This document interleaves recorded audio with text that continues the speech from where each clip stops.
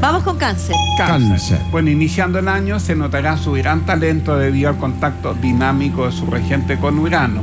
La luna que nos tocó al partir eh, el año, maravillosa y además en cáncer, por lo mismo es un buen momento para expresar sus emociones, controlar también su tensión emocional y todos esos nerviosismos, las penas, las dudas que tanto eh, desgaste le causaron el año pasado, este año la- las va a tomar con fuerza, las va a dirigir en forma positiva.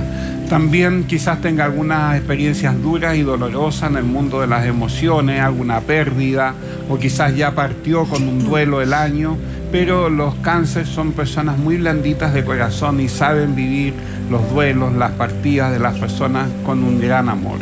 Saturno y la Luna en, a mitad de año también le van a dar un tiempo muy positivo para crecer y para madurar. El nodo de la Luna también en contacto con su regente le da finalmente un año de emociones tranquilas, firmes, se van a sentir sólidos. Y una cosa importante, la alegría y la buena salud lo van a acompañar durante todo el año. Ah, bueno. Su per- Ah, su personalidad también va a ser muy apreciada por los demás. Eh, típico que eh, todo el mundo le pide consejo a cáncer porque son personas tan emotivas.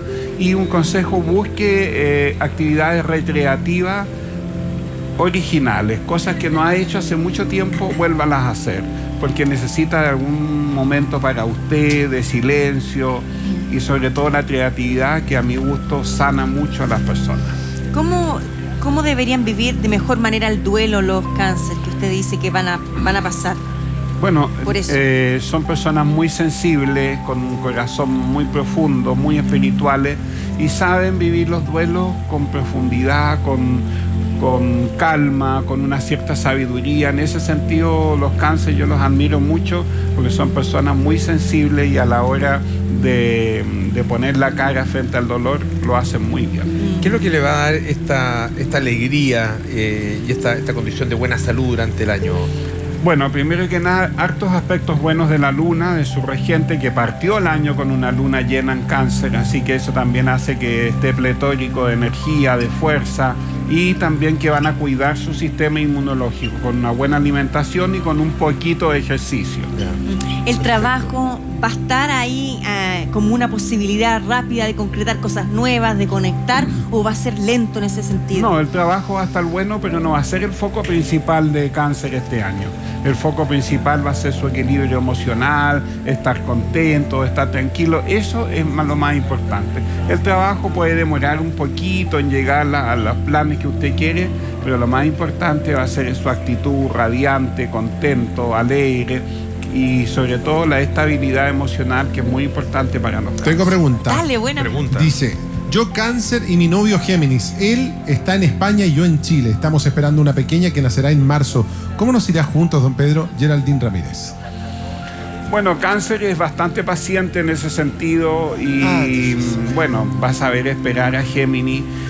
Me gusta la combinación cáncer y, y- y Géminis porque son dos mundos tan opuestos, tan distintos, que creo que mm, van a poder lograr eh, sobrepasar la distancia y finalmente hacer familia. Y el cáncer que ah, siempre le, perdón. perdón, el cáncer Sí, sí. Que, que le gusta que, que le manifiesten el cariño, también le gusta dar mucho cariño. Sí. ¿No le es conflictivo un amor a distancia? Sí, pero como están esperando una guaguita, ya como Ah. que hay, hay como un Hay ámbito lazo. más familiar y los cánceres saben esperar también. Pedro. Y sabes que a los cánceres les gusta de repente un poquito de distancia y volver a juntarse. El cáncer que no. El, el amor ha sido esquivo, que no, no pasa nada. ¿Puedo grabarte para mandarlo? para. Ah, mira, ya da. Cinco mil pesos. Para los cánceres que han tenido un amor esquivo, este es el año para abrir el corazón y abrir los brazos y abrazar a la princesa o al príncipe. ¿Va a azul. llegar? De todas maneras. ¿Qué signo podría ser mejor? Mm, Para cáncer Virgo, de todas maneras, eh, Tauro también, Capricornio, signos de tierra le vienen muy bien y también de su mismo signo, o sea, de su mismo elemento agua. Gracias, Pedro. ya lo mandé. ya. Voy a decir para el quién, pero no la voy a contacto con la naturaleza también es importante para el Muy, cáncer, ¿no? muy Sí. importante el contacto con la naturaleza.